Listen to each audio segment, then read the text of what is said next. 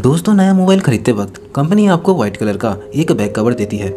और ये back cover आपने इस्तेमाल तो ज़रूर किया होगा।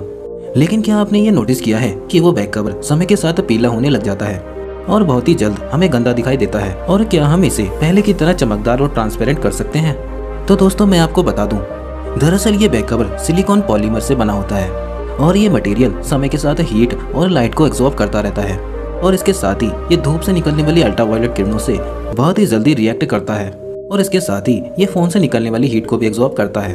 और कुछ ही समय बाद ये पीला पड़ने लगता है। और दोस्तों, मैं आपकी जानकारी के लिए बता दूँ कि ये बैक कवर एक बार पीला होने के बाद दोबारा से सही नहीं हो सकता और किसी भी रिएक्शन के द्वारा इसे पहले जैसा नहीं बनाया जा सकता। और दोस्तों, अपने इस बैक कवर को पहले की तरह सफ़ेद बनाने के लिए यूट्यूब पर वीडियो देखना बंद कर दें, क्योंकि वो सभी वीडियो फेक होती हैं। ऐसे ही इंटरेस्टिंग फैक्ट जानने के लिए सब्सक्राइब कीजिए ए हिंदी को।